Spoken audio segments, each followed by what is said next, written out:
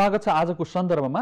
आजको सन्दर्भमा हामी मदन जीवराज स्मृति र सँगसँगै जोडिएर यही दिनको साइत पारेर हुन लागेको नेकपा एमाले र नेकपा माओवादी केन्द्रको एकतालाई जोडेर आजको सन्दर्भ सामग्री बनाएर कुराकानी गरिरहेका छौँ। यति बेला हामी स्टुडियो संवादका लागि तयारी गर्दैछौँ। स्टुडियो संवादमा हाम्रो साथमा आउनुभएको छ मायादेवी नेउपाने। मायादेवी नेउपाने भन्दा तपाईँलाई झ्वाट्ट नचिन्न सक्नुहुन्छ। किनभने मायादेवी आश्रित भन्यो भनेदेखि तपाईँहरूले चिन्न सक्नुहुन्छ। जीवराज आश्रितको धर्मपत्नी जो जीवराज आश्रितको निधनपछिका यी पच्चिस वर्ष उहाँले एक्लो जीवन बिताइराख्नु भएको छ।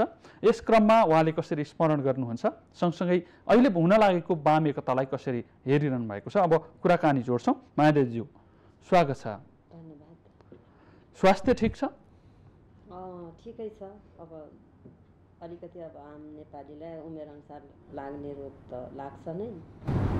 सामान्यतः हिडुल गर्नुमा समस्या छैन। हजुर। यी पच्चिस वर्ष पच्चिस वर्ष अगाडिको त्यो कहाली लाग्दो तपाईँको जीवनका लागि सबैभन्दा दुःखद दिन र आजको दिन। तुलना गरियो भनेदेखि केही खुसी हुने ठाउँहरू छन्? विगत यहाँले भने चाहिँ पच्चिस वर्षलाई नै सम्झिँदा त अत्यन्त कहाली लाग्दो।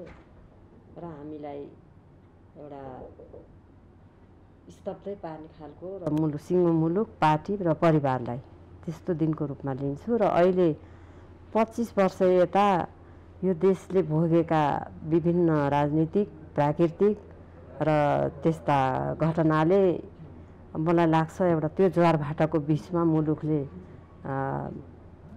एउटा मुक्ति पाएको छ।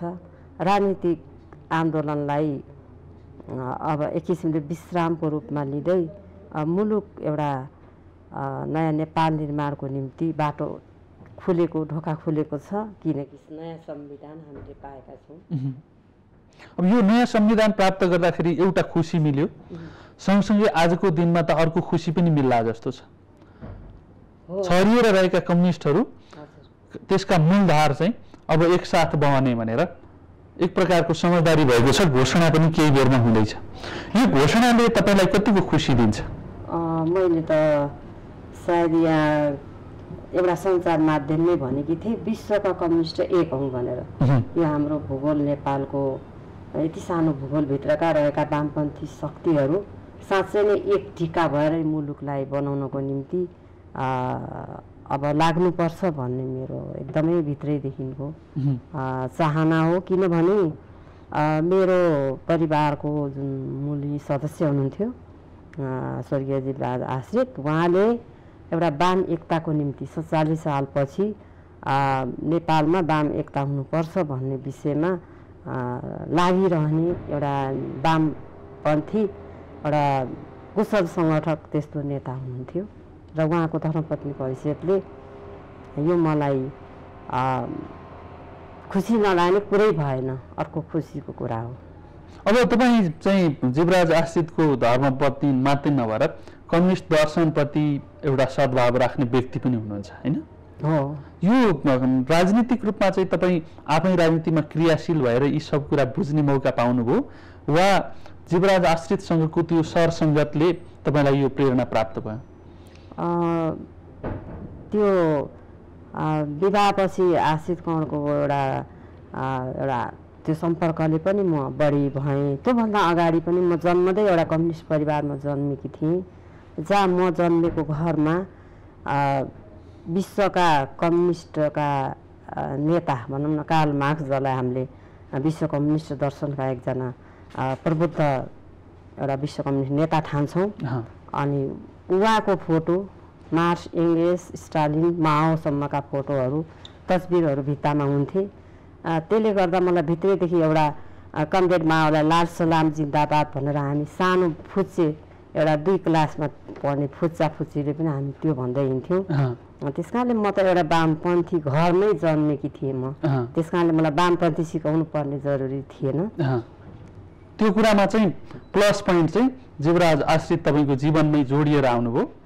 र कम्युनिस्ट पार्टीको पनि एउटा कुशल सङ्गठक अरूलाई समेत कार्यकर्ता बनाउँदै हिँड्ने भएपछि अब कार्यकर्तै भइसकेकी श्रीमती पाउँदाखेरि उहाँलाई त झनै सजिलो भयो होला नि होइन? होइन हामी त्यस्तो रूपमा परिचय गर्ने कहिल्यै पनि मौका पाएनौँ। यद्यपि जीवराज आश्रित भन्ने नामै मैले धेरै पछि थाहा पाएँ उहाँ। बहुदल आउने बेलामा कमरेडको नाम मात्रै मलाई थाहा हुन्थ्यो किनभने उहाँ चुनावमा जानु पर्थ्यो जीवराज भनेर उहाँ हुनुहुन्न रहेछ। हामीलाई भूमिगत बेलामा म सत्तालिसमा मात्रै काठमाडौँ आएर उहाँसँगै बस्ने मैले मौका पाएँ। त्योभन्दा अगाडि भूमिगत कालमा म न मलाई नाम भनिन्थ्यो न उहाँको पद भनिन्थ्यो। स्वर्गीय मदन भण्डारी देखेर चाहिँ यद्यपि- चिन्नुहुन्थ्यो? यद्यपि उहाँलाई पनि मैले खाना पकाएर खुवाएकी छु पोखरामा हामीको डेरामा बस्दाखेरि। उहाँ पार्टीको महासचिव भन्ने पनि चिनाउनु भएन। उहाँ एकजना साथी हो हामीसँगै भोलि जाने एक ठाउँ। भनेर आशित गाउँले भन्नुभयो। अन्तिम बेलामा उहाँले सायद त्यसपछि त मैले त्यति छिटो सम्पर्क भएन। एउटा छोरा मान्छेले लगाउने लुङ्गीको उपहार पनि उम्, आशित कौरलाई छोडेर लगाइराखेको कपडा। तपाईँ लाउनुहोस् भनेर छोडेको पनि मलाई थाहा हो यो त मदन कौरले दिएको रहेछ। भनेर मैले पछि थाहा पाएँ। उहाँले धेरैसम्म त्यो लुङ्गी लाउनुभयो। अ, तर मैले मदन भण्डारी भनेर चिइनँ त्यो बयालिस त्रिचालिसको कुरो हो। तर पछि मात्रै थाहा भयो। उहाँ मदन भण्डारी त अब उहाँ महासचिव हुनुहुँदो रहेछ उहाँ सङ्गठन विभाग प्रमुख। त्यो त्यो त्यसरी पनि एउटा? जानेर चिनेर नाम बुझेर होइन। आदरणीय दर्शकबिन हामी मायादेवी समसँगको कुराकानीका क्रममा थियौँ।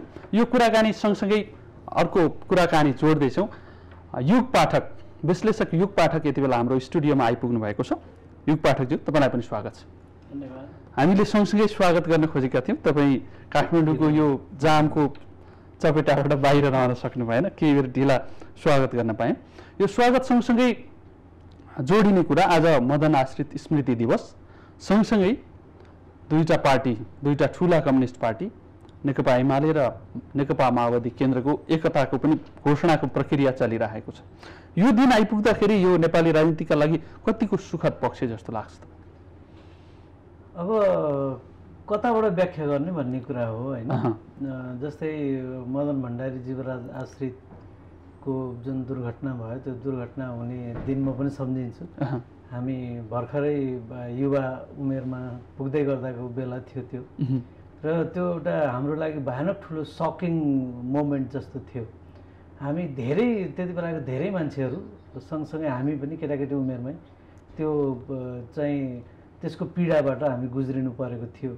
र हामीलाई त्यति बेला कस्तो लागेको थियो भने मदन भण्डारी जानु भनेको चाहिँ अब देशले एक खालको गति लिएला समानताको र श्रमजीवी जनताको पक्षमा एउटा माहौल बन्ला राजनीति त्यता लाग्ला भन्ने आश थियो नि त होइन? त्यो आश चाहिँ बर्बाद भएको हो कि भन्ने खालको त्यस्तो खालको चाहिँ हामीले पनि भोग्न परेको हो। कम्युनिस्ट आन्दोलन त धेरै अगाडिदेखि चलिरहेको थियो होइन? पार्टी पनि लामो समयदेखि स्थापित थियो।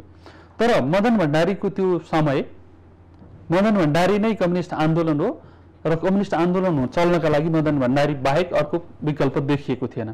त्यस्तो त्यति बेला त्यस्तो थिएन। त्यति बेला उहाँ एकदम प्रभावशाली ढङ्गले आइराख्नु भएको थियो। र आशाको केन्द्रको रूपमा अगाडि बढिराख्नु भएको थियो। तर त्यति बेला अहिले जसरी सोचिन्छ नि त्यसरी चाहिँ सोचिँदैन थियो। जस्तै उहाँ नभए भने केही पनि हुँदैन थियो अथवा सबथोक त्यही दिन सकियो भने जस्तो जुन पछि भयो नि। त्यो त्यस्तो व्याख्या चाहिँ त्यतिन्जेल भएको थिएन। हामी म त्यति बेला झापामा पढ्थेँ स्कुल पढ्थेँ। हामी मदन भण्डारीको भाषण सुन्न बिर्ता मोडसम्म सोह्र सत्र किलोमिटर साइकल चलाएर आउँथ्यौँ आउँथ्यौँ। होइन त्यो त्यो त्य- त्यति बेला अर्कै थियो माहौल। होइन? एकातिर राजनीति गइराखेको थियो। तर पछि चाहिँ उहाँको अभाव बढी खड्कियो। उहाँहरूको अभावले चाहिँ पछिल्लो समय किनभने जसरी राजनीति जाला भनिएको थियो त्यसरी नगएको हुनाले त्यो अभाव आज पनि खड्किएको हो कि जस्तो लाग्छ मलाई? होइन त्यो प्रतिबन्धित कालमा कम्युनिस्ट आन्दोलन एक ढङ्गले चलिरहेको थियो। तर चल्दै गर्दाखेरि पनि जब मदन भण्डारीले एउटा नयाँ दृष्टिकोणसहित आउनुभयो नि हो। जनताको बहुदलीय जनवाद भनेर त्यसपछि त्यो कम्युनिस्ट आन्दोलनमा त त्यसले एउटा उत्साह भर्यो भर्यो। सँगसँगै त्यो कम्युनिस्ट इतरका अथवा सर्वसाधारण नागरिकलाई पनि मदन भण्डारी अनि कम्युनिस्ट आन्दोलनप्रति एक प्रकारको आकर्षण जगाउन सफल भयो नि। हो। त्यो आकर्षणले तपाईँहरूलाई ज्यादा प्रभाव पारेको सालको चुनाव ताकाको कुरा थियो। त्यो चुनावमा चाहिँ एकदमै धेरै त्यो प्रभाव चाहिँ उहाँहरू लिएर जान सफल हुनुभएको थियो। र सँगसँगै त्यो चुनाव पछाडि चाहिँ मदन भण्डारी एकजना राजालाई पनि चुनौती दिन सक्ने। अनि समाजलाई अगाडि लान सक्ने एकजना मान्छे हो भन्ने त्यति बेला बनेको थियो। त्यो माहौल बनेको थियो।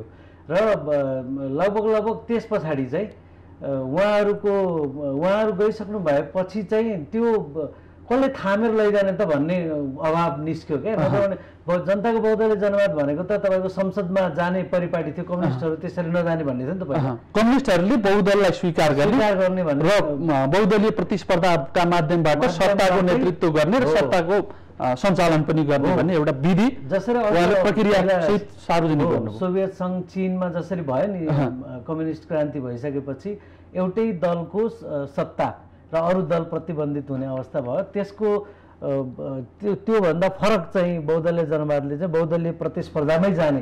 कसैलाई पनि प्रतिबन्ध गर्ने चाहिँ होइन। तर यही बाटोबाट जाने भन्ने कुरा चाहिँ उहाँहरूले त्यो सिद्धान्त मार्फत ल्याउनु भएको थियो। तपाईँले त्यो आफू पनि जोडिएको मदन भण्डारीसँग? आकर्षित भएको एउटा युवा अवस्थाको स्मृति सहित बताइहाल्नुभयो। अब त्यस्तो आकर्षित भए गर्ने व्यक्तित्वको निधन भएको एउटा दुःखद दिन र आज त्यही दिन पारेर कम्युनिस्ट पार्टीहरू एकता भएको। अब त नेकपा एकता दिवस पनि हुने भयो त होइन? यो यो सुखद। दिन। अब यी दुईटाका बिचको समन्वय चाहिँ कसरी अघि बढ्ला? अब यसमा अघि मैले सुरुमा पनि भने विभिन्न एङ्गलबाट हेर्न सकिन्छ। जस्तै एमाले र माओवादीका नेताहरू त्यो पनि पहिलो र दोस्रो तहका नेताहरू भनेर जो चिनिनुहुन्छ उहाँहरूको तर्फबाट हेर्नु हो भने अलिअलि हर्ष अलिअलि विस्मात भयो। किन उहाँहरूलाई चाहिँ आफ्नो ठाउँ कति पुग्ने हो होइन? आफूलाई भोलि अगाडि बढ्न सजिलो हुने हो कि असजिलो हुने हो? उसै गरी सजिलैसित अगाडि जान सकिने बाटोमा अर्को कोही आइपुग्ने हो कि। होइन यो हर्ष विस्मात दुइटै छ। तल कार्यकर्ता तहमा र आम भोटर्स जो उहाँहरूलाई भोट दिनुभयो उहाँहरूको तहमा चाहिँ दुई थरी मिल्दाखेरि। अब यो एउटा चाहिँ स्थिर सरकार पनि हुने पार्टी पनि बलियो हुने र सरकार ठिकसँग चलाउने माहौल बन्दाखेरि उहाँहरूले साँच्चै समृद्धि ल्याउनुहुन्छ कि भन्ने एउटा आशा र एउटा विश्वासको माहौल बनाउँछ यसले। अब त्यो दोस्रो। तहको तेस्रो तहको नेताको कुरा गर्ने हो भनेदेखि त लक्ष्य त मकै पिन्ने हो। हो। तर घुन पनि पिदियो भने जस्तो उहाँहरूको। अवसरहरू त घुम्न सक्छन् हो त्यो डरमा त्यही मैले भने अलिकति हर्ष अलिकति विस्मात उहाँहरूको लागि दुइटै छ। होइन? तलको क्याडरहरूको लागि फरक छ यो बुझाइ। अब अब मायादेवीजीसँग जान्छु म। तपाईँ चाहिँ बताइदिनुहोस् यो तपाईँ त्यो मकै पिन्दाखेरि पिसिने घुनमा पनि पर्नुहुन्न। एउटा जीवराज आश्रितको धर्मपत्नी मात्रै नभएर एउटा कम्युनिस्ट कार्यकर्ता पनि हुँ भनेर तपाईँले त्यो बच्चादेखिको एउटा अनुभव सुनाइसक्नु भएको छ। यो कार्यकर्ताका दृष्टिकोणबाट मात्रै हेऱ्यो भने चाहिँ यो एकतालाई कसरी कस्तो देखिँदो रहेछ यो एकता? होइन यो त हिजो चुनावका बेला जुन हामीले एउटा प्रतिबद्धता जाहेर गरेका थियौँ भोट माग्दाखेरि पनि एउटा साझा उम्मेदवार वाम गठबन्धन भनेर त्यही आधारमा हामीलाई जनताले भोट दिनुभएको थियो। पत्याउनु पनि भएको थियो। तर यो छिटो नमिलेको अवस्थामा त हामीलाई एउटा शङ्का गर्ने ए चुनावको बेला मात्रै यहाँको एजेन्डा रहेछ भनेर हामीलाई अलिकति विश्वास पनि गर्न पार्टीलाई के के नेता जे पनि बोल्छन् भन्ने जस्तो पनि एउटा आशंका आएको थियो। त्यो आशंका चाहिँ एउटा एउटा कार्यकर्ता र आम जनता भोटर्सको रूपमा हेरेर अ, यो एकदमै सहज र हुनै पर्ने कुरा छ।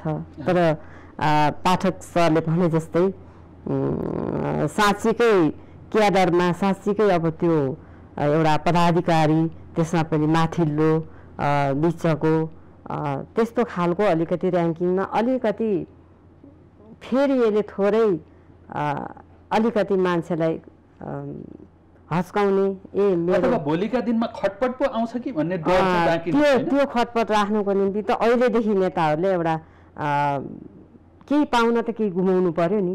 होइन बाटो हिँड्दाखेरि त जुत्ता खिन्छ जुत्ता बचाउँछु भनेर बाटो नहिँड्न त भएन। त्यो जुत्ता खिँदै जान्छन् हामी पाइला अगाडि बढ्दै जाने हो। त्यस कारणले एक दुईजना शीर्षस्थ नेताहरू अथवा अलिकति पदमा अहिले रहिरहन् सो पद नहोला। तर जनताको मुक्तिको निम्ति त हामीले केही पाउन केही गुमाउनु पर्छ। मैले के सम्झन्छु भने पञ्चायत कालमा नेताहरूको जीवन त एउटा जोखिम थियो। कि गोलीको भरमा कि जेल कस्टडीको यातनामा कि त हिँड्दै भिर पाखाबाट पनि लड्दै। कतिपय त्यतिखेरका नेता नेत्र पौडेल अभागीज्यू। त्यत्रो र उच्च रक्तचापको बिरामी जङ्गलको बाटो हिँड्दा उहाँको अब सब पाउन पनि महिनौ लगाएको थियो होइन। त्यसरी हामीले त अहिले नाफामा पाएको जिन्दगी हो नि यो। त। यो नाफामा पाएको जिन्दगी जनताको सेवाको निम्ति बाँचुन्जेल लाग्ने हो चाहे हामी सेवा गर्ने ठाउँमा पुगौँ पार्टीको उच्च तहमा पुगौँ या नपुगौँ। र हाम्रो भावना भनेको स्वच्छ भावनाले जनसेवा गर्ने हो। हिजो हामीले भूमिगत कालमा लाग्दा पञ्चायत कालमा लाग्दा हामीले के पाउनको निम्ति लागेको होइन नि? यो त्यसरी यदि सम्झिदिनु भने यो स्वत केही पनि समस्या रहेन तर पनि फेरि पद पगरी भनेका एउटा साधन स्रोत मान मनिता र त्यसमा पावर मन पावर मसलको कुरा छ भने यदि त्यस्तो भावना लिनेको निम्ति त अलिकति यो थोरै घाटा त सहनु पर्छ नै जान्छु म। Politics without power is meaningless भन्छन् नि। अहिले भन्दै हुनुहुन्थ्यो महादेवजीले पद पदवी त्यससँग जोडिएका पावर होइन? ती कुराले चाहिँ असर गर्छन् कि भन्ने चिन्ता उहाँमा पनि छ। तर त्योभन्दा बाहिर अछुतो रहेर राजनीति गर्ने त्यो जमात आजको दिनमा छ जस्तो हुँदैन कहिले पनि हुँदैन। राजनीति भनेकै तपाईँको शक्ति आर्जनको लागि गर्ने हो। राजनीति एक समयमा आन्दोलनको बेलामा सेक्रिफाइस गर्नको लागि पनि गरिन्छ। गरिन्छ। तर एक समयमा त्यो सेक्रिफाइस गरेको पनि त्यो आफ्नो एउटा विचार चिन्तन र समाज बदल्छु भन्ने ऊर्जालाई शक्तिमा बदल्ने र राज्य सत्ताको सोर्स रिसोर्स प्रयोग गरेर त्यसलाई चाहिँ कार्यान्वयन गर्ने भन्ने नै हुन्छ। राजनीति कुनै पनि राजनीति गर्ने भनेको त्यही हो। अब त यहाँ त हामीले त्यो राजनीतिको मूल मर्म त हुँदै हो त्यो। त्यहाँभन्दा बाहिरबाट निस्किन सक्दैन। तर अहिले चाहिँ कम्युनिस्ट पार्टी दुईवटा कम्युनिस्ट पार्टीका एउटा तहका नेताहरूले सेक्रिफाइस गरेनन् भनेदेखि यो एकता भइसकेपछि पनि भोलिका दिन के हुन् भन्ने एउटा एक किसिमको अन्यल बाँकी नै त्यो रहन्छ नै त्यो सामान्यतया रहन्छ। हाम्रै देशको अनुभवले के बताउँछ भने दुईटा काङ्ग्रेस फुट्यो अनि पछि एकता भयो नि। त्यो गुट दुईटा गुट बाँकी नै रह्यो। पनि होइन आजका दिनमा पनि। त्यसैका आधारमा त्यसैका आधारमा। समाचारै त्यसकै आधारमा बनिरहेछ जस्तै एमाले र माले भएर फुटे अनि फेरि पछि अ, दुईटा जोडिए फेरि जोडिएपछि पनि त्यो दुईटा गुटको अस्तित्व त्यो दुईटा गुटमध्ये कसले कसरी चाहिँ महाधिवेशनमा कसको शक्ति अगाडि जाने भन्नेदेखि जिल्लादेखि तलदेखि त्यो खेल चलि नै रहन्छ। बरु त्यहाँ चाहिँ गुट परिवर्तन गर्ने चरित्र अलि ज्यादा भएकोले गर्दाखेरि घुलमेल अलि हो। ज्यादा गुट परिवर्तन हुन सक्छ किनभने गुटमा लाग्ने भनेको गुट बनाउने भनेको नि पार्टीभित्र पार्टी बनाउनु त हो नि होइन? दुई किसिमले हुँदो रहेछ गुट चाहिँ। एउटा विचारका कारणले गर्दाखेरि त्यसमा धारणा राख्दै गर्दाखेरि बन्ने वैचारिक समूह हो। होइन? अर्को चाहिँ आत्मसुरक्षाका लागि कतातिर चाहिँ सहारी हो। बलियो छ भनेर उभिने ठाउँको खोजी होइन जब आत्म तपाईँले भन्नु नि वैचारिक खालको। गुट बन्यो भने चाहिँ त्यो त हुँदैन। बाटो हुन्छ त्यसको एउटा या त त्यसले भित्र एउटा विचार समूहको रूपमा वैचारिक आन्दोलन गरि नै रहन्छ। पार्टीभित्र त्यसले पनि गर्ने भयो। गर्ने भयो या त त्यो एउटा त्यसलाई फेरि दबाएको दबाई गर्न थाल्यो भने त्यसले एउटा रूप लिन थाल्यो भने पार्टी विभाजन हुन्छ विस्फोट हुन्छ विस्फोट विभाजनै हुन्छ वैचारिक भनेकै त्यही हो वैचारिक भिन्नता भन्ने बित्तिकै एउटै पार्टीमा सधैँ रहिरहने भन्ने हुँदैन। अब अहिले चाहिँ हामी यो एकताको प्रक्रियासँग जोड्दि जोडिँदाखेरि दुईटा प्रमुख नेताहरू छन्। केपी शर्मा ओलीको एउटा प्रकारको चरित्र छ पुष्पकमल दाहालको अर्को प्रकारको चरित्र छ। अब यी चरित्रहरूका बिचमा समझदारी निर्माण भएको छ अहिले। तत्कालको समझदारी भनेको त ऐतिहासिक महत्त्व राख्छ तर त्यो समझदारीले विश्वासको वातावरण निर्माण गर्न सकेन भनेदेखि त्यो फेरि अर्को दुर्घटनाको ऐतिहासिक दिन? नै तपाईँले भन्नुभएको कुरा हो कि हामी दुईजनाको केमिस्ट्री खोजिरहेछौँ नि होइन? केमिस्ट्री कतिको मिल्ला नमिल्ला। सङ्कटै त्यही हो कि दुईजना शीर्ष नेताहरूले लगभग लगभग आफ्नो अथोरिटी प्रयोग गरेर पार्टी एकतालाई अघि बढाएका छन्। यो चाहिँ तलदेखि ठिकठाक छलफल गरेर पार्टी एकतालाई स्मुथ गर्ने हुन्छ नि। त्यो प्रक्रियामा खासै काम भएको छैन कार्यकर्ता तहले हाम्रो एकताको खास मूल मर्म चाहिँ यहाँ पुगेपछि भेटिन्छ भन्ने कुराको बहस गर्न छैन सिधै कुरा के हो नेताहरूले गर्ने हो। नेताहरूले गर्दै हुनुहुन्छ त्यस कारण हामी पनि लाग्ने हो। त्यो कुरा छ त्यसले नै तपाईँको दोस्रो तेस्रो तहको नेताहरूमा सरी समस्या ल्याउने भयो एउटा चाहिँ अर्को उहाँहरूको केमिस्ट्री मिलेको दिन मिल्ने र नमिलेको दिन त्यसैले सङ्कट ल्याइदिने। अचानक किनभने दिनमा पनि। हेरिएको छ हिजो अस्तिको दिन एक थरी समाचार थियो आज अर्को थरी समाचार आइसक्यो होइन यो खालको चाहिँ सङ्कट चाहिँ सधैँ आइराख्ने हुन्छ यस्तो खालको चाहिँ केही नेताहरूको हातमा सम्पूर्ण अथोरिटी भयो भने। र केन्द्रीय समिति अथवा के छ त्यो निर्णय गर्ने कमिटी त्यो कमिटीले ठिकठाक छलफल गरेर अगाडि बढायो भने। एउटा खालको माहौल बन्छ। तर शीर्षस्थ नेताहरूले सिधै गरेपछि चाहिँ त्यहाँ लगेर अनुमोदन गराउने हुन्छ जस्तै उहाँहरू दुईजना बैठक बस्नुभयो। अनि त्यसपछि ल गर्ने भन्नुभयो। अनिखेर आफ्नो आफ्नो कमिटीको बैठक त त्यसपछि राख्नु भयो नि। कम्युनिस्ट पार्टीको वरिष्ठ कार्यकर्ता। त्यो लामो अनुभव छ। नेताहरूसँगको सरसङ्गत छ। तपाईँले भनिहाल्नुभयो लुङ्गी उपहार दिने मान्छे चिन्नलाई धेरै समय लाग्यो होइन? जीवराज आश्रितलाई। त्यो खालको राजनीति गर्नका लागि त्यो अनुभव लिएको व्यक्तिले अहिले युग पाठकज्यूले भने जस्तो सङ्कटहरू नआउनका लागि तपाईँको सुझाव चाहिँ के रहन्छ? शीर्ष तहका दुईटा नेतालाई। यहाँभन्दा पृष्ठभूमि भन्नुभयो विगतका कुरा गर्ने भने त त्यो पार्टीमा एउटा धन आर्जन गर्ने सम्पत्ति जोड्ने मेरो वा तेरो भन्ने निजी सम्पत्तिको विषयमा अथवा निजी मान्छेका विषयमा कुरा हुन्न थियो। सबै पार्टीको विषयमा र पार्टीलाई कसरी अनुशासित एउटा सङ्गठित बनाउने भन्ने मात्रै धारणा थियो। हिजोको परिस्थिति बिल्कुल बदलिएको छ। अहिले सत्तामोही पार्टी बनेका छन्। भलै त्यसमा एमाले त चुकिसक्यो भनौँ न चुकिसकेको हो। तर थुप्रै हन्डर ठक्कर एउटा सँग जुझ्दै आएको यो एउटा खोला जस्तो नदी जस्तो पार्टी। अब यसले हिजोको जनयुद्धबाट आएको एउटा हतियारधारी पार्टी र हिजो एउटा सङ्गठन गर्दै एउटा देशलाई देशमा जनताको मुक्तिको निम्ति गोलबन्द गर्दै सङ्गठन गर्दै लामो समयदेखि बढी यो अठाइस सालपछिको जसरी एउटा माले धार हुँदै एमाले हुँदै यहाँसम्म आउँदा थुप्रै चुनावहरू गरिसकेको छ। यसमा अब खारिएका अनुभवी सबै खालका मान्छेहरूको जमात छ। त्यसले गर्दा दुईतिरको एउटा शक्तिलाई अब हामी एक बनाउँदैछौँ। र त्यस कारण अब एकदम सचेत भएर दुई नेताले यो गठबन्धन गर्न लाग्नुभएको मलाई लागेको छ। हिजो सत्तामोहले गर्दा एउटा दरबारको एकतन्त्रीय शासन पनि एउटा जनताले हटाइदिएका छन्। त्यस कारण एकतन्त्रीय शासन त कोही पनि चल्दैन। पार्टीमा पनि एक छत्र छाया अथवा मेरो गुट वा तेरो गुट भनेर अब चल्नेवाला छैन सरकारमा बसे पनि पार्टीको नेतृत्वमा बसे पनि एकतन्त्रीय शासनको बारेमा नसोच्नुहोस् पहिलो सुझाव होइन? पहिलो सुझाव छ एकतन्त्रीयमा। अर्को कुरा हिजोका युवा हिजोका जस्तो रामकुमारी झाँक्री सडक आन्दोलनमा भाषण गर्ने एउटा फुच्चे नेत्री विद्यार्थी हुनुहुन्थ्यो। आज सङ्घ सङ्घीय संसदको सभासद हुनुहुन्छ। होइन?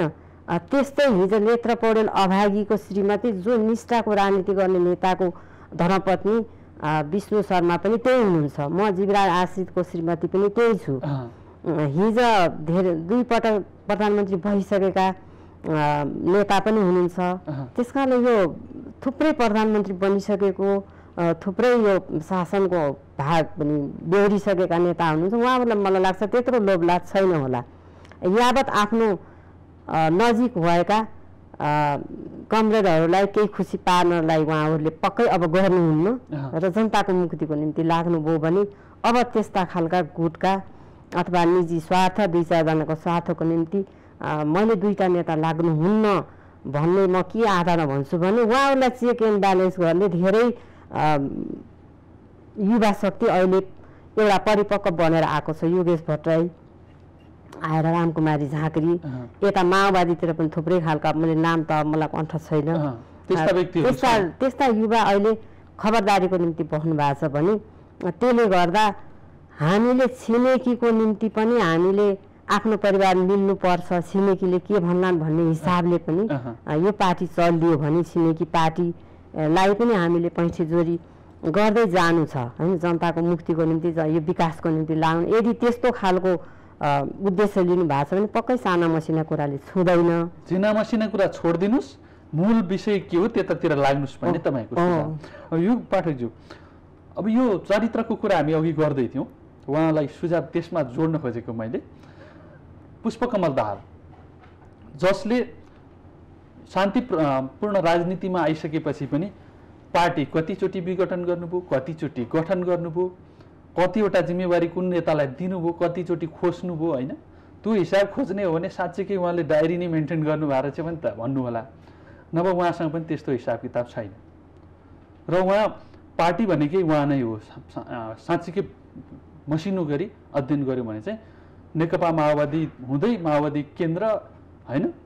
हो। त्यसका एकीकृत नेकपा माओवादी हुँदाका यी हर पर हर परिस्थिति हेऱ्यो भनेदेखि उहाँसँग फरक मत राख्नेहरू भागेर कता कता पाखा भित्तातिर छन् होइन? उहाँसँग फरक मत राखेर पनि फर्किनेहरू उहाँसँग छन् नभए बाँकी फरक मत नराख्नेहरूकै समूह उहाँसँग छ एकातिर। अर्कातिर केपी शर्मा ओली जो फरक मतहरूलाई कमजोर पारेर तर विचार सँगसँगै आफ्नो गुटलाई साह्रै बलियो बनाएको कारणले गर्दाखेरि नेतृत्वमा हुनुहुन्छ। यी दुईटा प्रवृत्तिहरू सँगसँगै हिँड्नका लागि जटिलता चाहिँ के देख्नुहुन्छ? तपाईँले ठिकठाक भन्नुभयो त्यो कुरो होइन। त माओवादीको त कस्तो भयो भने अघिल्लो अधिवेशन हेटौँडा अधिवेशन भएको थियो। त्यो पनि पार्टी बनाउनको लागि भएको थियो तर त्यो अधिवेशनले केही पनि बनाएन भन्दा पनि हुन्छ। एउटा दस्तावेज पारित गर्ने भन्दा बाहेक दस्तावेज पारित अनि गर्यो र फेरि के बनायो भन्दा त्यही पुरानो नेतृत्वलाई बलियो अनि साङ्गठनिक अधिवेशन फेरि गर्नुभयो उहाँहरूले। अनि त्यो पनि पार नलागिकन टुङ्ग्यो। त्यसपछि लगभग माओवादी पार्टी त एडहक कमिटीको रूपमा चलिरहेछ जिल्लादेखि केन्द्रसम्म एडहक कमिटीहरू चलेको हो चलिरहेको। कुनै पनि कमिटी तपाईँको फुल फ्लेजमा काम गर्न सक्ने का त्यो कार्यकारी कमिटी नै थिएन। माओवादीको हालत त्यस्तो थियो एमाले एकदम व्यवस्थित पार्टी हो।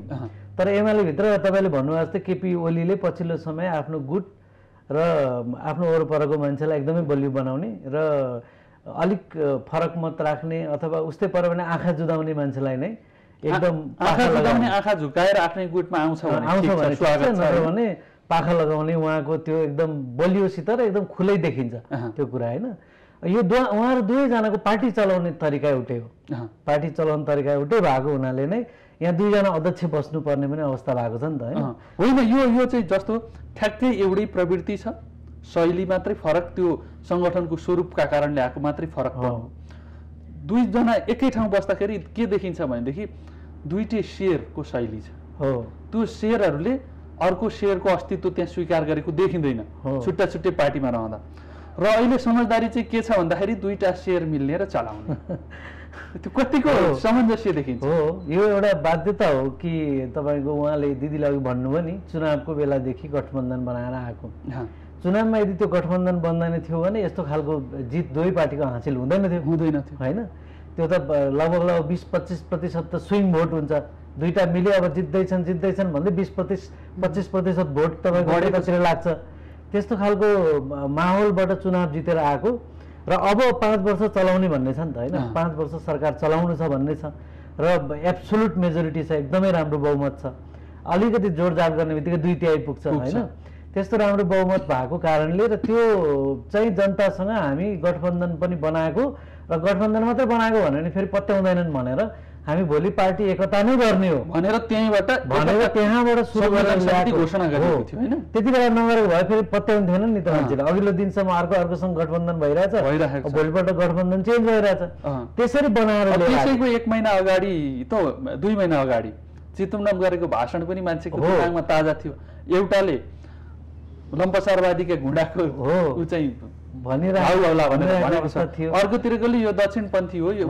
एमाले भन्ने पार्टी अब यो देशलाई आवश्यकै छैन भनेर घोषणा थियो। पुष्पकमल दाहाल त्यही भएर त्यो दुईजनालाई दुईजनालाई एउटा ऐतिहासिक बाध्यता हुन्छ कि राजनीतिमा सबै कुरा सनकले चाहिँ चल्दैन। चल्दैन राजनीतिको एउटा ग्रामर हुन्छ। त्यो ग्रामरमा चल्ने हो।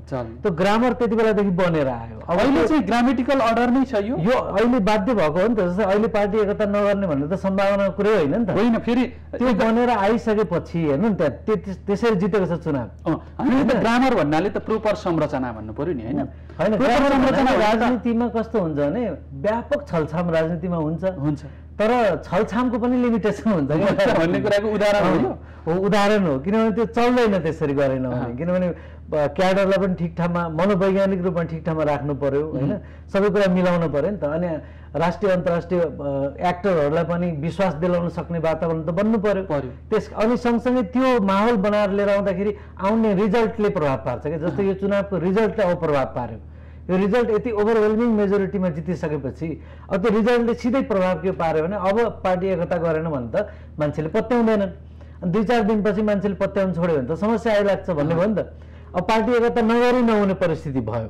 अब एउटा आवश्यकताले हो कि बाध्यताले भएको एकता त? दुइटै हो अब चाहिँ। अब आवश्यकता पनि हो बाध्यता पनि हो। एउटा चाहिँ बलियो कम्युनिस्ट केन्द्र बनाउने भन्ने छ। दुइटैको वैचारिक रूपमा खासै भिन्नता देख्दिनँ म पछिल्लो समय आइपुग्दाखेरि। फरक फरक पृष्ठभूमिबाट आए पनि। तपाईँलाई चाहिँ म के म- मलाई के जिज्ञासा लागिरहेको छ भनेदेखि यी पार्टीहरू एक भए एक हुनु हुँदाको दिन आज उत्साहको कुरा छ। भोलि यिनीहरू फेरि त्यस्तै दुर्घटनामा जाने हुन् कि? त्यसरी दुर्घटनामा जाने गरी त बरु एक नभएको ठिक हुन्थ्यो कि? भन्ने सन्दर्भमा तपाईँको केही मत छ? त्यस्तो खालको भित्र कतै मनको अन्तर कुन्तरमा त्यस्ता कुराहरू अडिएका छन्? होइन त्यस्तो होइन पटक्कै किनभने अब हामीले घर निर्माण गर्दै जाँदा भुइँचालोले भत्काउँछ भनेर त घर बन्दैन। त्यस कारणले अब तर नअत्किने गरी त्यसको लागि पूर्व तयारी त्यही। भएर पूर्व तयारीमा अब यो मिल छ पार्टी पक्कै अब मिल्न गइरहेछ घोषणा अब हुन्छ। तर यसलाई कसरी बचाइराख्ने भन्ने कुराको पनि त्यो स्टियरिङ एउटा छुट्टै एउटा कमिटी मलाई बनाउनुपर्छ जस्तो लाग्छ। होइन अब हामीले दुईवटा अध्यक्षलाई मात्रै सुन्यौँ भने हुँदैन। त्यस कारणले एउटा चेक एन्ड ब्यालेन्स र दुईवटा पार्टी कसरी चल्ने र यो भित्र कसरी साङ्गठनिक त्यो कसरी निर्माण गर्ने र झिना मसिना अलिकति स्वार्थका कुरालाई त्याग्यौँ भने। मैले अघि भने जस्तै यो पार्टी मजबुत हुन्छ। विश्व कम्युनिस्ट एक हुने भन्ने कुरामा अब दुई मात्रै छैन यो हुन्छ। किनभने जनताको पक्षमा छ समाजवाद उन्मुख छ। र यहाँ कुनै एउटा एक छत्र एकतन्त्रीय शासन अब जसरी भत्केर गएका छन् अब यो चाहिँ भत्केर जान्छ। यो भन्नुको मतलब कम्युनिस्ट शासन फेरि अर्को एउटा निरङ्कुश बनेर आउने भन्ने पनि शङ्का छ। यो पटक्कै होइन यो जनताको एउटा सङ्घर्षबाट सङ्घर्षबाट आएको र यो विगत इतिहास साठी वर्षदेखि नेपालमा लागू हुँदै आएको पार्टी हो। यो विचार हो। यो विचार बिचमा कहिले धङधङ भयो कहिले मूर्छित भयो र अहिले चाहिँ परिपक्व भएर आएको छ। बिउजिएको हो कि साँच्चै कि होइन यो परिपक्व भएको? छ। यो जनताबाटै खारिएर कसी लाएर आएको छ। एक दुईजना नेता कसैको अलिकति स्वार्थ लुकेको छ भने यो त एक दिन प्रस्टिन्छ स्वार्थको निम्ति लाग्नेहरूको निम्ति त। मलाई लाग्छ स्वार्थ भएका दुइटै नेता हुनुहुन्न। पुष्पकमलजीको पनि अब निस्वार्थ हुनुहुन्छ। हिजो चितवनको चुनावसम्म केही कसैले उचाल्यो होलान्। अब प्रकाशजीको घटनापछि छोराको पछि उहाँलाई अब म त देशको निम्ति नै बाँकी रहेँ अथवा म देशको निम्ति लाग्छु भन्ने उहाँलाई भित्रबाट भन्ने उहाँले छ। केपी कणको पनि आफन्त त कोही पनि छैन नि आफ्नो बाटाको त। त्यस कारणले यति निस्वार्थ साँच्चै एउटा सन्तको पार्टी जस्तो मान्छु मैले उहाँहरूमा। अब त्यस्ता एक दुईजनाले बोक्ने बित्तिकै उहाँहरू अब त्यसरी गर्नुहुन्न लाग्नुहुन्न। दुइटै अब उहाँहरू परिपक्व एकदम व्यवहारले समयले कसी लाग्दै आउनुभएको छ? तर खबरदारी गर्ने एउटा स्टियरिङ कमिटी हुनु अथवा त्यसलाई त्यो त्यो चाहिँ आवश्यक सेकेन्ड ब्यालेन्स आवश्यक छ। युग पाठकज्यू अघि हामी दुईटा शेर भन्दै थियौँ। अहिले महादेवजीले भनिदिनु भयो दुईटा सन्तहरूको बिचमा एकता भएको छ। त्यस आधारमा हेऱ्यो भनेदेखि त शङ्का गर्नुपर्ने ठाउँ त एकदम कमजोर पो छ होइन? होइन शङ्का भन्दा पनि कुरा के हो भने हामीलाई त शङ्का गरेर के हुन्छ र होइन। हामीलाई शङ्का गर्नुपर्ने पनि केही छैन। अथवा हामी पूर्ण विश्वस्त भएर पनि। मेरो लागि केही छैन। मेरो लागि खास दुइटै केही छैन। जनताको लागि जहाँसम्म काम गर्ने कुरा छ त्यसमा चाहिँ वैचारिक रूपमा र राजनीतिक रूपमा केही कुरा प्रष्ट भएर आउनुपर्छ भन्ने लाग्छ मलाई चाहिँ होइन? जस्तै उहाँहरू दुवै थरी पार्टीले चाहिँ एउटाले जनयुद्ध गरेर आएको एउटा चाहिँ पञ्चायत कालमा लामो भूमिगत सकस सहितको आन्दोलन गरेर आएको होइन? दुइटै पार्टी कम्युनिस्ट पार्टी भनेको छ दुइटै पार्टी श्रमजीवी जनताको भनेको छ। म चाहिँ एउटा दुइटा कुरा सुन्न चाहन्छु उहाँहरूबाट कि एउटा जस्तो कि साँच्चीकै यो अ, नव उदारवादी अर्थतन्त्र भन्छन् जसले चाहिँ बजारलाई र ठुला ठुला विदेशी लगानीका प्रोजेक्टलाई पहिलो नम्बरमा राख्छ। समर्थन उनी- उनीहरूलाई पहिलो राख्छ। अनिखेरि त्यसरी जनताको सामान्य सिपमूलक कामहरूलाई जनताले उत्पादन गर्ने कुरालाई जनतालाई बलियो बनाउने जनताको कृषि लगायतको कुरामा ठुलो लगानी गर्ने शिक्षा र स्वास्थ्यमा लगानी गर्ने कुरामा कम महत्त्व दिन्छ दोस्रो प्राथमिकतामा दोस्रो? प्राथमिकतामा पर्छ त्यो त्यो विचारधारालाई अहिले अहिलेसम्म हेर्दाखेरि मैले उहाँहरूले जस्ताको जस्तै जस्ताको जस्तै बोकेर हिँड्नु भएको छ। बहसमा चाहिँ खासै बोकेको जस्तो देखिँदैन। कुरामा चाहिँ प्र्याक्टिसमा चाहिँ- प्र्याक्टिसमा जस्ताको जस्तै छ। उहाँहरूको सबै नेताहरू मन्त्री हुनुहुन्छ अनि मन्त्री भएपछि उहाँहरूको एउटै एक्सक्युज माग्ने ठाउँ हुन्छ। हामीलाई ब्युरोक्रेसीले सहयोग गरेन। होइन कर्मचारीले हामीले भनेकै मान्दैनन्। उसले सहयोग गरेन त्यसले सहयोग गरेन भन्ने कुरा हुन्छ क्या।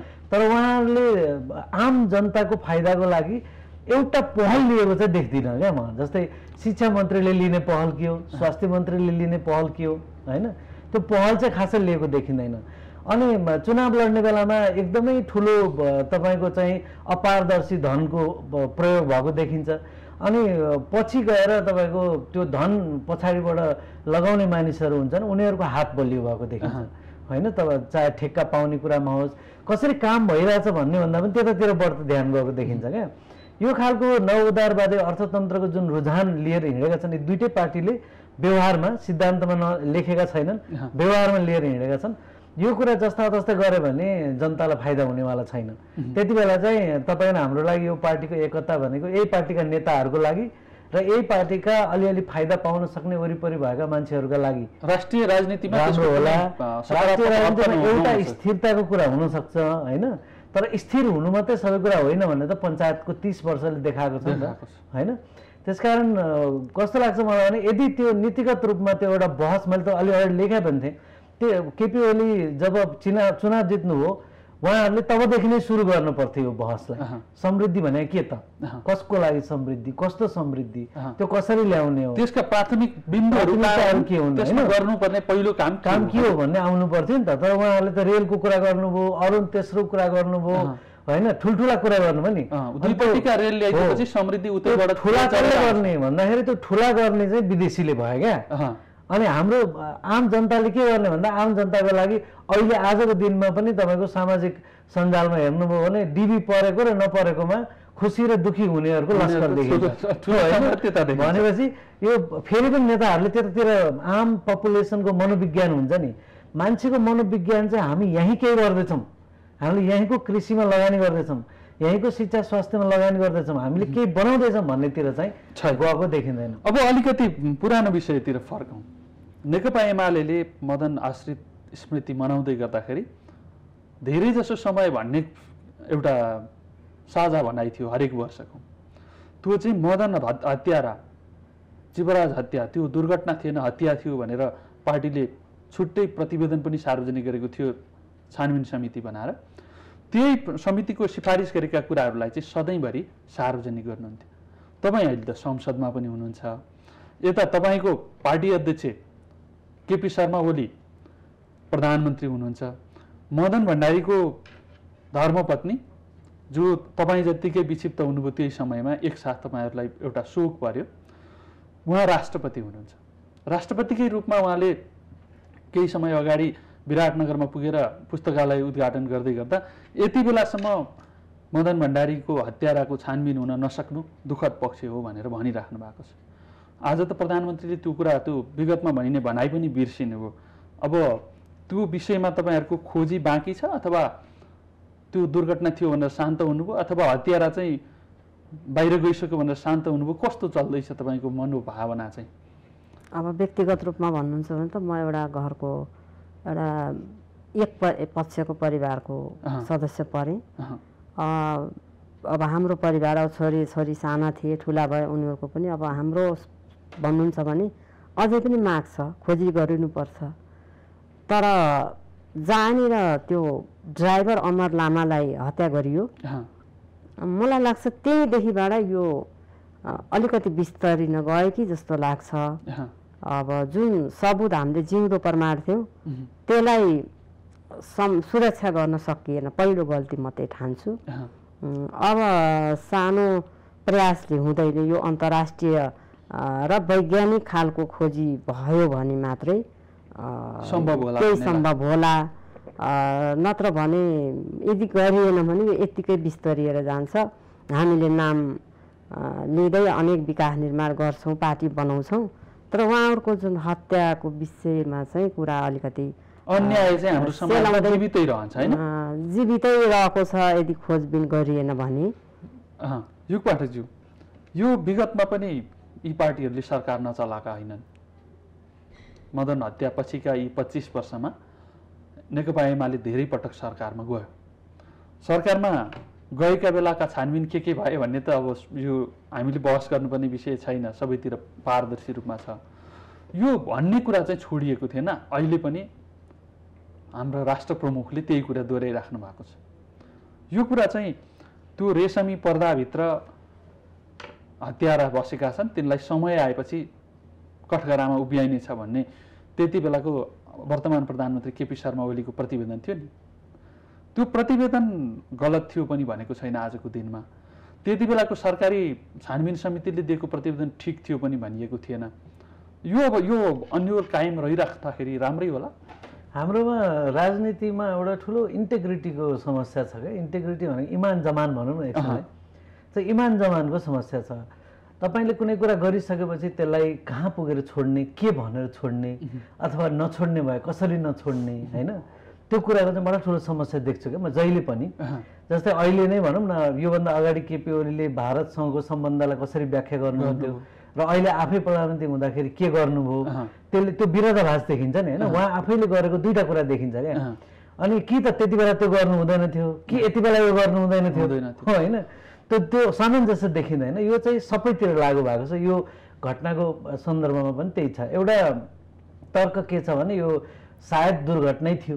भन्ने पनि तर्क छ होइन दुर्घटनै थियो भने दुर्घटना यसरी थियो भनेर पनि त भनिनु पर्थ्यो भनिनु। पर्थ्यो होइन यो दुर्घटना नै थियो त्यति बेला पार्टीको आक्रोश थियो हो। आक्रोशले हामीले त्यो त्यति बेलाका प्रमाणहरूलाई विश्वास गर्न सकेनौँ भन्ने कि। त्यो भनिनु पर्थ्यो अब व्यापक रूपमा हाम्रोमा षड्यन्त्रको सिद्धान्त त बिग्छ। होइन कुनै पनि कुरा षड्यन्त्र भएको भन्यो भने सबका कान।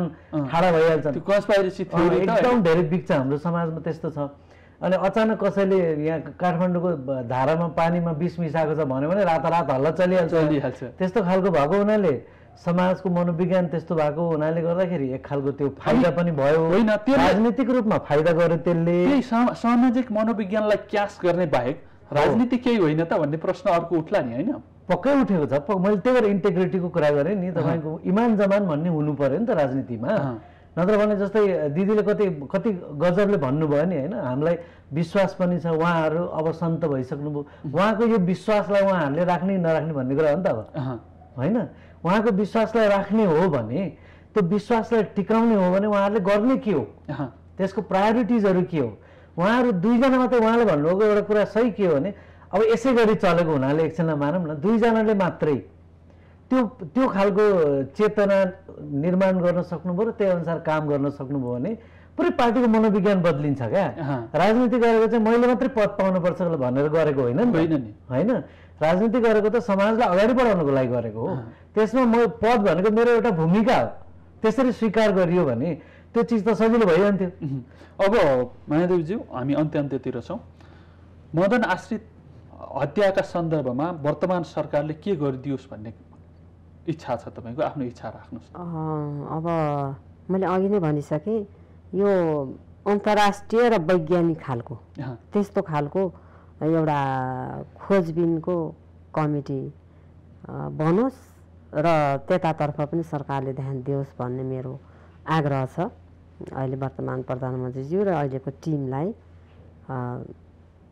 यही नै भन्छु। यही यही कामना छ। त्यो कामना पुरा गर्नका लागि सरकार लागिदियोस्। हाम्रो तर्फबाट नि शुभकामना छ।